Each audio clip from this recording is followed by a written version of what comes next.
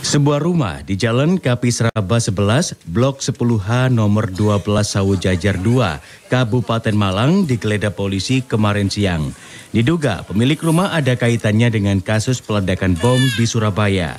Pemilik rumah diketahui bernama Arifin beserta istrinya Siti Rohaida.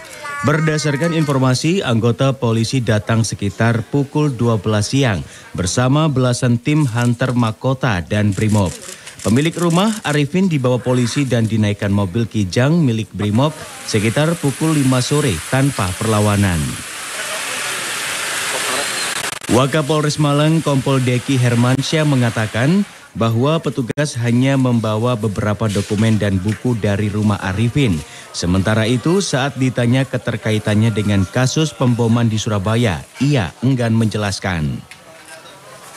Kegiatan apa yang benar terkait juga Buku apa itu? Buku apa pak? Buku apa pak? Buku apa? Dari tim nanti akan masih dipelajari. Selain buku Apanya pak? Hanya bukan. semacam bahan peledak gitu dan Enggak ada. Bahan kimia pak? Enggak ada, enggak ada, enggak ada. Dan kok di polis lain dan rumahnya? Apa Iya, masih belum selesai atau gimana? Perlu olah TKP lagi nanti. Dibawa ke mana dan Proses. pe- rumahnya dan anu pemilik rumah? Yang yang diambil? rumah. Apa di rumah kerja? Ya, minyak lagi.